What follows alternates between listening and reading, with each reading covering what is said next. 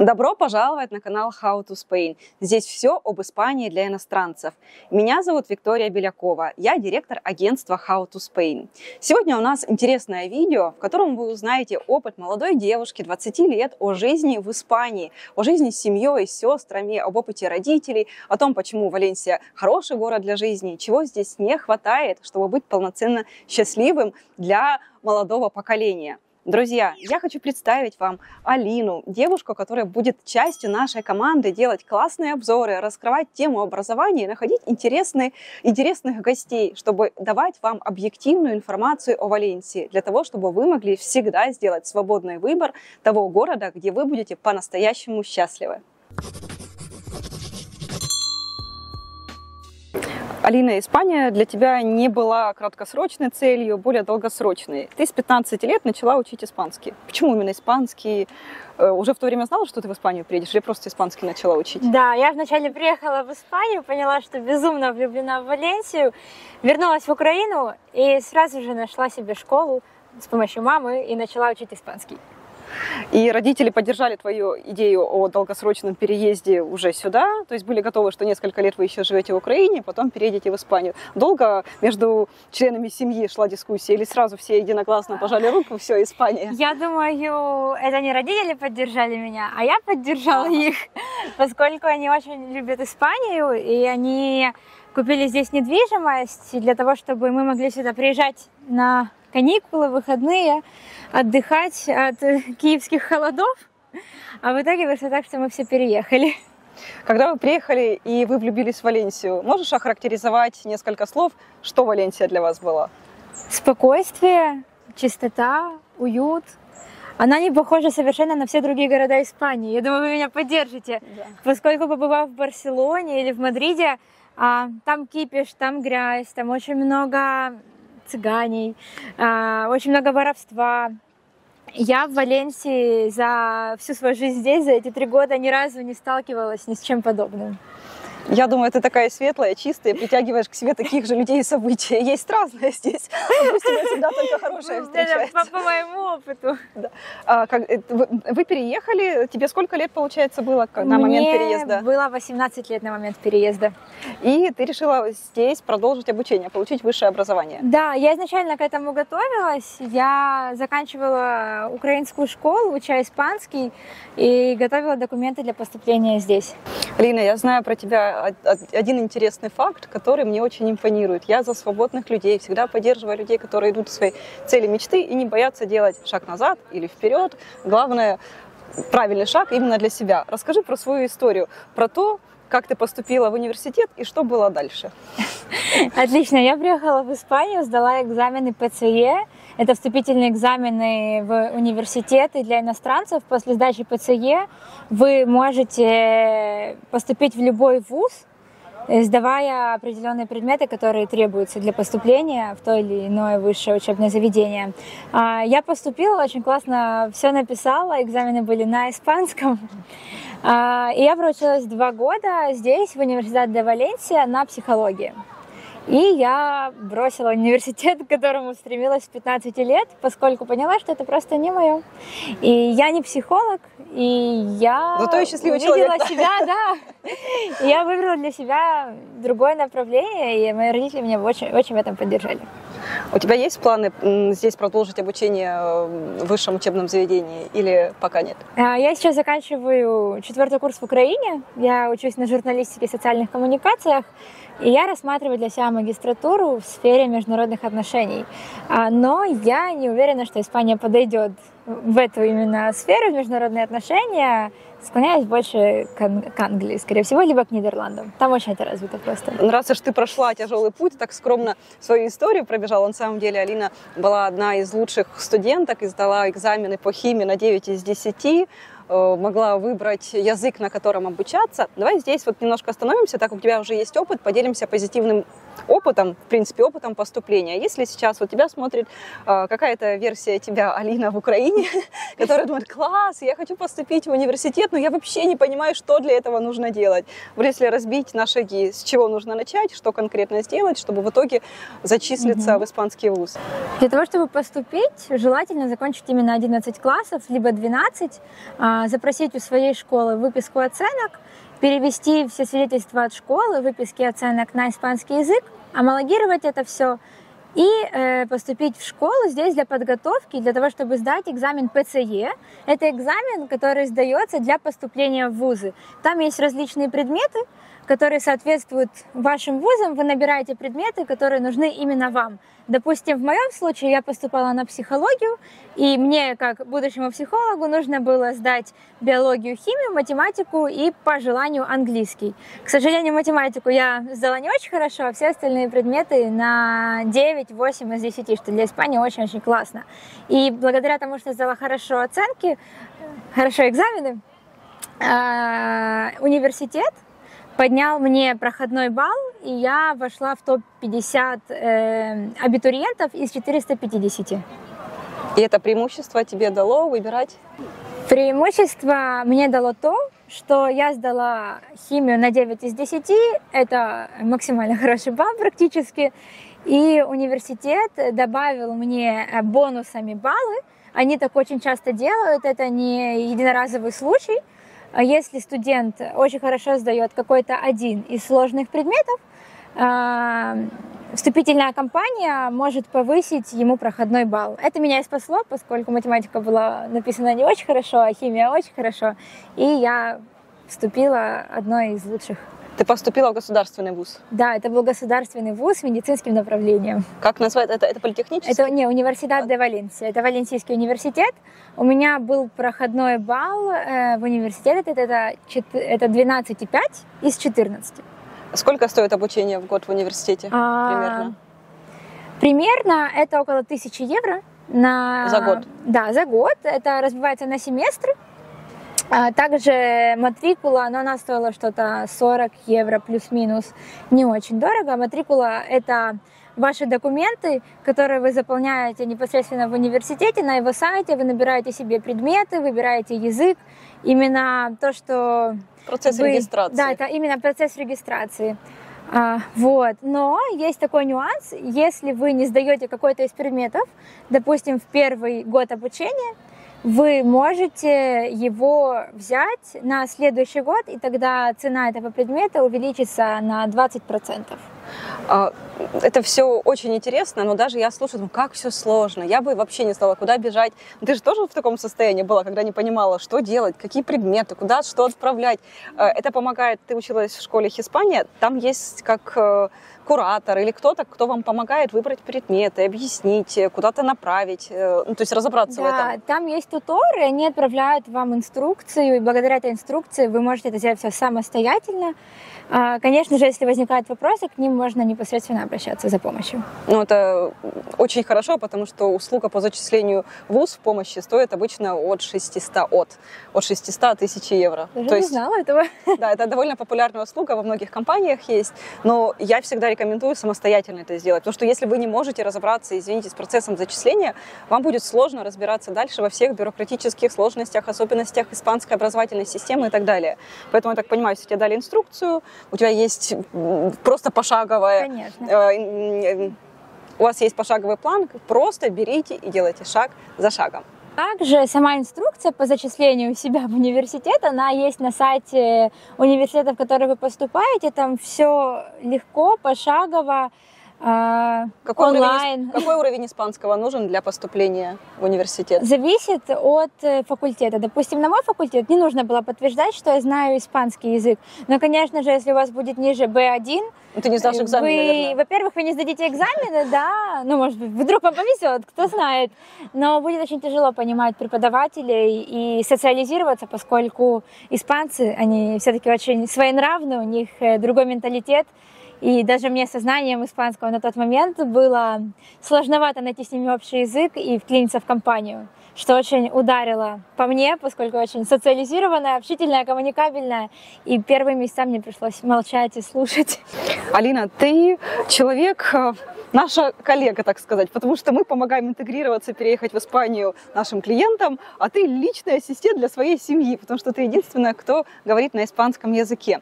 И я так понимаю, что ты помогала в устройстве э, сестер в школу и в садик. Расскажи да. про этот процесс. Давай с садика начнем. Насколько сложно устроить ребенка в садик? С какого возраста здесь э, это доступно? А, в садик устроить на самом деле сложно, как и везде. У них есть очереди. И в садик испанцы отдают детей с 4 месяцев, поскольку у них декрет длится только 4 месяца. И у них есть прям ясельки с кроватками, со смесями, с памперсами. Детки не ходят, их воспитатели носят на руках. Это для нас очень дико. Поэтому моя младшая сестра пошла в садик в три года. И устраивали мы ее на самом деле сложно, но самостоятельно. Мы пришли в садик, а, нам сделали очень красивую экскурсию этого садика, его показали. Стоит упомянуть, что это частный садик. И вступительный взнос в этот садик стоил около 180 евро, а сам каждый месяц стоит 510 евро – и 160 евро входит в эти 510, это еда. Поскольку в Испании в основном садики пользуются кейтерингом, и очень редко у них есть кухня, mm-hmm. на которой они готовят. Школы, садики – это кейтеринг, в Испании это очень развито. Хороший бизнес. Про школу. А сколько лет твоей сестре, которая ходит в школу? А, сейчас 10, но поступала она, когда ей было 8 лет. И после экзаменов вступительных ее приняли в пятый класс. Но потом, конечно, отправили в четвертый, когда поняли, что немножко она не социализируется с детками постарше. Она в частной школе учится? Да, она тоже учится в частной школе, что младшая сестра, что и средняя. Они учатся в англоязычных учебных заведениях, но там очень тоже сильно интегрируют и испанский язык. А школа наша очень славится тем, что в ней действительно много украинцев сейчас учатся. Как школа и... называется? Шеклтон International ага. School. Довольны обучением? А, родители да. и дети? Да, и родители и дети очень довольны. Они делают очень много интересных ивентов. А, и у нас ребенок наш спокойно разговаривает на английском буквально за полгода она его выучила практически что с нуля, поскольку поступать ей помогала я, тайком под столом диктуя ответы на английском. А сейчас она уже помогает мне в английском. Сестры, на, это помощники на, на всю жизнь друг другу. А сколько стоит обучение в частной школе вашей? А вступительный взнос стоит около 80, 800 евро, если я не ошибаюсь. Мне кажется, что они уже подняли, поскольку это расценки двухгодичной давности а каждый месяц стоит около 570 евро. И с каждым годом, я так понимаю, стоимость увеличивается а, в зависимости? Да, да, конечно же, как и везде, к сожалению. Чем старше дети, тем выше стоимость здесь. Но если сравнивать с образованием в Англии и во многих других странах, в Испании очень дешево. Университет, ты сказала, 1000 евро в год. Ну, где вы вообще видели такие цены?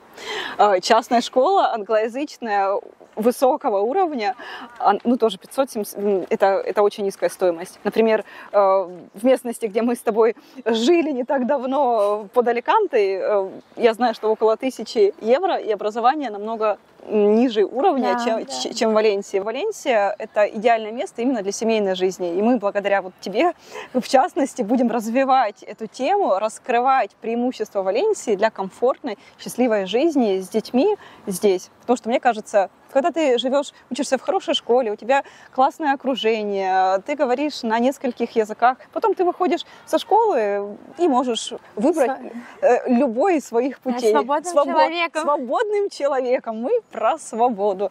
How to Spain всегда про свободу выбора. Алина, что можешь сказать, какие твои отзывы о медицине в Испании? На самом деле, кто бы что ни говорил, я очень довольна медициной в Испании, имея два типа страховок. У меня есть и частная, и государственная. Я обслуживаюсь и в частной, и государственной клинике, и что там, что там я полностью довольна. Единственное, что частная страховка, это, наверное, больше не про качество, а больше про скорость поскольку ты можешь записаться самостоятельно к любому врачу, кто бы это ни был. В государственной страховке более такой бюрократический подход. Вы идете к терапевту или к педиатру, и он вам там назначит ситу там, ситу там, и это волокита, это долго ждать. Но в целом э, по качеству я бы не сказала, что государственная страховка будет хуже, чем частная. Но они хуже. У нас, э, так как мы страховой брокер, и когда клиенты спрашивают, а что государственная хуже, я всегда говорю, нет, вы можете статистику посмотреть, испанская медицина на очень высоком уровне во всем мире, и госпиталь, в том числе в Валенсии, который находит Лафе, он один из лучших в мире вообще, он очень классный. Проблема в том, как туда попасть, как скоро попасть. Вот здесь другое. Частная страховка, она дает свободу выбора и оперативно найти проблему, обнаружить ее и принять какие-то меры. И если что-то серьезное, кстати, даже по частной страховке, иногда рекомендуют обратиться в государственную, если в городе нет определенной клиники. Да. Поэтому да, и государственная, и частная, они, я считаю, необходимы, потому что они дают тебе просто свободу. В одном случае применить одну, в другом случае другое. Я видео рассказывала про э, преимущество государственное. Ты знаешь, да, наверное, что государственное только тебе могут выписать рецепт, с которым ты идешь в аптеку, и тебе до 90% да, скидка. Да, конечно конечно, там сразу же аннулируется стоимость, что бы это ни было, антибиотики или парацетамол это все будет стоить буквально копейки. Копейки, там меньше евро. Смотришь чек, э, там сколько это стоило, не знаю, тебе говорят 40 центов. Как, 40 центов за лекарство? За да. антибиотик да. какой-то важный. Да, и это супер классное. Поэтому, да, нужно иметь то и то. На, у тебя э, были какие-то личные случаи, когда ты обращалась и получили помощь? Да, да. А, мой молодой человек э, заболел, у него была бронхиальная киста, его обследовали по ургенции, по скорой помощи. И потом назначили, прописали лечение, чтобы снять воспаление, назначили потом э, ситуклору, конечно, мы прождали немножко, но это было очевидно, это очень такая нишевая специальность. А, и все, нам назначили операцию после некоторого времени обследования. В день операции мы пришли, э, его сразу же забрали все, ему предоставили э, больничную одежду. Мне сказали, что взять с собой только тапки. Ни постель, ни еды, ничего не нужно было, просто, после, просто после Украины тапки. Да, да, для нас тоже это было очень удивительно. И мы сидели и думали, так, интересно, какой же нам выставят счет? Поскольку вы привезли после операции в палату, в палате только по два человека. Эта палата разделена ширмой. У каждого больного есть телевизор, который выдвигается к нему.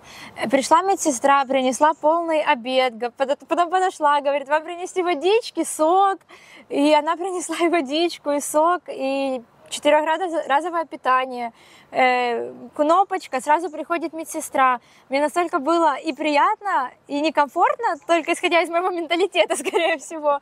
Я прям подошла к медсестре и напрямую спросила, а, прошу прощения, а нам нужно что-то за это заплатить? Они такие, нет, конечно, у вас же государственная страховка, все оплачено. И он пролежал 4 дня в больнице на полном пансионе да. со, со всеми лекарствами, причем даже после выписки, как вы рассказали, мы пришли в аптеку и нам сделали скидку 90% по государственной страховке на все медикаменты и всю постреабилитацию после операции. Я надеюсь, парень уже здоров, все да, в порядке. слава богу, все хорошо. А опыт с частной медициной был? А, да, мои родители используют страховку. Операции не было? Частную. Была операция моей мамы, но она была несерьезная, и просто вырезали родинку. Тоже мы пришли, нас ее сразу прооперировали, отправили домой. Очень быстро, не знаю, часа два это заняло. Если по частной, там всегда, ну, обычно 99% случаев, если у тебя хорошая страховка и госпиталь, у тебя индивидуальная палата, и она ничем не отличается, как правило, от номера в отеле. У тебя свой душ, да. кровать, ну, там телевизор такое уже опционально, но я когда первый раз попала на операцию, я зашла, говорю, это четырехзвездочный отель, да. просто ты сам, да, это кнопочка, меню. А есть такие госпитали э, в Мадриде и в Памплоне, где э, не просто тебе принесли то, что они хотят, а тебе дают целое меню, там до 15 вариантов блюд может быть, и ты в зависимости от твоих предпочтений, вегетарианец ты, там, что тебе нравится и что тебе нужно для твоего состояния здоровья, ты выбираешь. В госпитале есть своя пекарня и своя э, кулинария, представляешь? Это просто пятизвездочный отель, действительно. А, кстати, я еще упустила очень интересный факт. В Испании принято э, всегда находиться с больным, да, сопровождающий. А, сопровождать его и прям в палатах, установленные в государственных госпиталях, это раскладные кресла, полностью в лежачее положение, и вы там ночуете. Получается палата для двух больных и для каждого родственника больного. И в частных больницах это огромные палаты с раскладным диваном и с больничной кроватью для больного. И получается, вы приходите, вы ложитесь на раскладной этот диван, вы можете там спать, там... Иногда даже столик для работы Да, есть. Я была, конечно. работала с ноутбуком. Там в столики, телевизоры, вот Вимет, который в Валенсии, а там огромная душевая, мне кажется, она может быть даже лучше, чем в некоторых отелях, сразу с э, косметика от Rituals всей, это было шикарно. Да, поэтому про медицину отзыв тоже положительный. Алина, мы с тобой так много поговорили про плюсы Валенсии. Так все позитивно, гладко и сладко, что не хватает только на фоне бегающих розовых единорогов. Давай расскажем, что все-таки здесь не так. Возможно, что-то не нравится, расстраивает тебя. Не может быть все идеально. Жги. Да, конечно же. Как вы сказали ранее, Валенсия очень семейный город. Это про садики, про школы, про безопасность, про хорошую инфраструктуру. Но, тем не менее, это город очень спокойный слишком спокойный для молодежи, знаете. А, Как по мне, он маленький для того, чтобы расширять свои амбиции. Он не есть какой-то бизнес-столицей чего-то. Валенсия про спокойствие. Это транкила, как говорят испанцы. Ты выходишь на улицу, ты никуда не спешишь. Ты можешь выйти в пижаме, на тебя косо не посмотрят, потому что это абитуаль, это обычно для испанцев именно в Валенсии. Да, Валенсия не так давно стала расширяться, до этого она была совсем скажем, мало заселенная. Сейчас она стала популярна особенно после, к сожалению, печального события э, войны в Украине. Очень много наших приехали, и мне кажется, украинцы расшевелили во многом. Э, здесь какая-то жизнь, наши открыли рестораны, агентство недвижимости, пошла Конечно. движуха и немножко активности. Да. А до этого, я просто здесь э, уже дольше живу, и до этого, поверь мне, вообще тишина была. Хорошо, Я верю. о- ограничения возможностей. Первый минус для молодежи. Если хочешь развиваться, эм, в принципе, есть два города в Испании, это Мадрид и Барселона. В Барселоне небезопасно, остается Мадрид по факту. Да. Еще один из минусов, который э, дотронулся лично ко мне, это проблемы со снятием жилья. Очень тяжело молодой паре найти себе жилье, даже несмотря на то, что у нас есть контракты, нам просто не одобряют квартиры, мы не понимаем почему. Э, проблема в том, что, скорее всего, испанцы, которые сдают свою квартиру, они выбирают между испанцами и иностранцами, и, конечно же, они предпочтут испанцев. Сколько у вас рабочий контракт, испанская номина? А, у моего молодого человека это 1500 в месяц плюс Нет, нет, проценты. с- или сро- что? А, срок, срок, срок, срок. ага. А, это уже полгода. Ну, вообще страховые от двух лет рассматривают. Я думаю, это Да. причина может быть отказа. Потому что когда вы арендуете, ну это не только в Валенсии, по всей Испании проблема, но если вы арендуете, и страх- э, владелец хочет застраховать свой риск того, что вы перестанете оплачивать, и он оформляет страховку. А вот страховка, как правило, требует э, договор определенный, и многие из них хотят видеть стабильный договор, индефинидо, который уже больше срока. Просто, возможно, как из Да, причин. Однозначно, но вот у моего человека как раз-таки договор индефинидо, И все равно. и да. все равно, да, они не рассматривают нас, к сожалению. Да, с арендой очень плохо. Будем стараться помогать решать этот вопрос. Мы поняли, что у всех наших клиентов большая проблема. Мы в недвижимость долго не приходили, сейчас это интегрируем. Этот вопрос будем решать. Валенсию до Мадрида расширить не так быстро сможем, но с арендой будем помогать. Мы с этим справимся. Что еще? Море. Далеко. Море, море далеко на самом деле от центра, и даже не то, что далеко, здесь пляжи чистые, но сама береговая линия, она некрасивая. Она, это не про какие-то красивые пляжи, это не про чистую прозрачную воду. Вот сейчас только в октябре вода стала чистой. До этого все лето я бы не сказала, что, наверное, было приятно купаться в валенсийской воде. На центральном пляже, да? Да, на Мальваросе. Ну, думаю, ты знаешь, что местные никогда туда не ездят. Конечно, да. Туда ездят только туристы. Все местные ездят либо в Альсалер, либо сейчас мы открыли для себя классное прозрачное. Мы, я это испанская Ницца, э, испанская Ницца называю. Это Монкофа, там галька. Это буквально 30 минут от Валенсии. Вот. И там э, супер прозрачная вода, потому что нет песка, нет такого количества людей, и вода прозрачная. Ну да, наверное, только на машине. Да, только на машине. Да, да, только на машине. поэтому мы ограничены Мальваросой на данный момент. Да. Но- Или Эль Салером. А, кстати, один из плюсов, наверное, для тех, кто не водит машину в Валенсии, потому что здесь действительно машина не нужна, все в радиусе пяти минут, да. и по всему городу велосипедная дорожка, велосипедистов огромное количество, удобная развязка с помощью метро, трамвая, автобуса, все сделано для того, чтобы люди не использовали э, да, машины. моя семья, которая привыкла жить э, в киевских пробках, два года здесь прожила без машин, не нуждаясь совершенно в них.